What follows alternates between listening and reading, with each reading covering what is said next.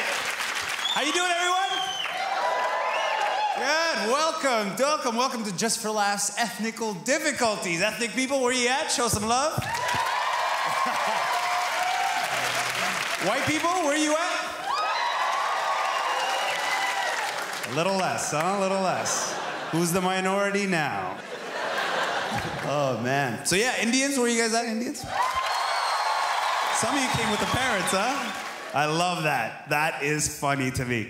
It's because when Indians come alone, it's cool. When the parents come alone, it's cool. But when the kids and the parents come together, it's the funniest thing in the world. Because the kids always come backstage and see me and they're like, yo, man, don't talk about sex, man. don't talk about sex, yo. My dad's here. Don't talk about sex. I'm like, dude, your dad's here with seven kids. Like, probably teach me a couple of things. so yeah, so any, any Middle Eastern people? Middle Eastern people? All spread out. Well, usually that's your technique. No, just joke. I went to Saudi Arabia. Their definition of sex is way on the other side. Like their definition of sluts is completely different, right? For them, it's like a woman who doesn't wear the headgear. and they talk about her like that too. Look at Fatima showing off the bridge of her nose.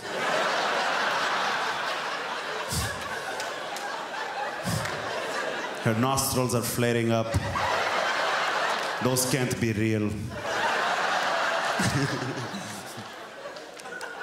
But it's good. We're like we're in Toronto, very ethnically diverse, right? Very ethnically diverse. I was in the states. I was living in the states for a while. They're very diverse too, but different ethnicities. Like I was living in California, and they have a lot of Latinos in California, right? A lot of Latinos. You know, I figured out. I was at their uh, drugstore, and on the intercom, I hear, boom, Jose line one, please. Jose line one.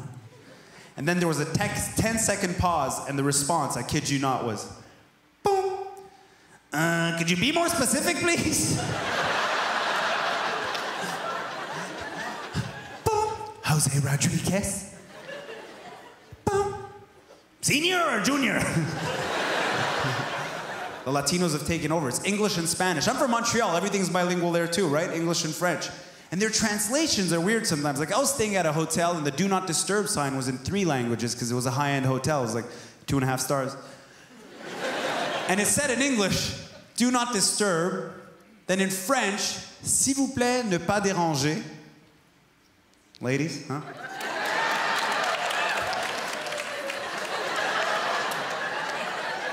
And then the translation in Spanish was messed up. It was no moleste, por favor. I was like, how the are you guys waking people up in Mexico? Yo, vato, it's time to go to work, put a finger in his ass. But I grew up in Montreal, Quebec. I'm from Montreal, I'm a Habs fan. Yeah. Yeah. I know, I know, I know, I know, but we're still better. But we just got, we got, did you guys see we got a black guy? We got a brother. Yeah, PK Subban. He's from Toronto. We stole your black guy. Have you seen this guy? You know what the thing is? In Montreal, all of the journalists, all the announcers still haven't addressed the fact that he's black. I'm like, you gotta prepare people. Right? Like I was reading, oh, he's got he's a prospect, he's gonna be great. I get to the Bell Center, I was like, whoa, yo, let us know. You know what I mean? It's Quebec. You gotta warn Quebecers because there's still parts of that province people are adjusting the color on their TV. Paulette call the repairman, the contrast is too strong. the big puck keeps hitting the little puck. Any French people? French people? Yeah, French people? You're French? Yes? She's like, uh, yes. Merde. What's your name, miss? Jennifer? Jennifer.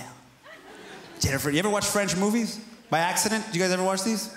On like Radio Canada, the French CBC. Is it just me or is there a lot of nothing that goes on in these movies? You ever watch it like a couple's finish making love and the girl goes into a monologue for no apparent reason?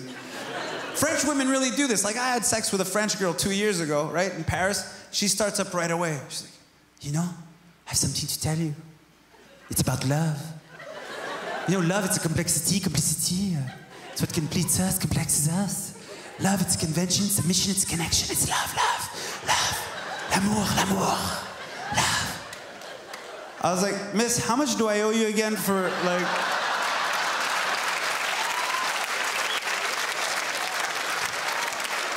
Because when I called the agency, they didn't tell me this was gonna go down. I'm a single guy. Single people in the audience?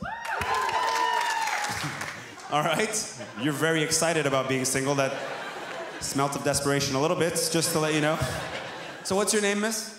Marcy. Hi, Marcy. How you doing? Good, how are you? Good. So what do you think? You're single, I'm single. You're single, I'm single. Look at the Indians. You would have been married by now with him in India, but you're lucky, Marcy. Why are you shy? Don't be shy. She's acting like it's an Indian movie.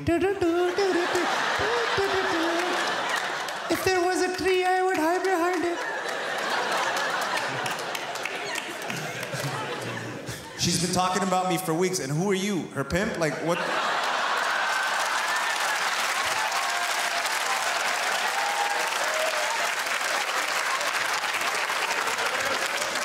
That's the craziest thing I've ever heard at a show. She's been talking about you for weeks. and what's your name, sir? Ahmed. Ahmed. All right, never mind. You remember, sir? so what do you do, Ahmed? I'm the technology guy at the bank. You're a technology guy at the bank. This is how we wire the money into the country. And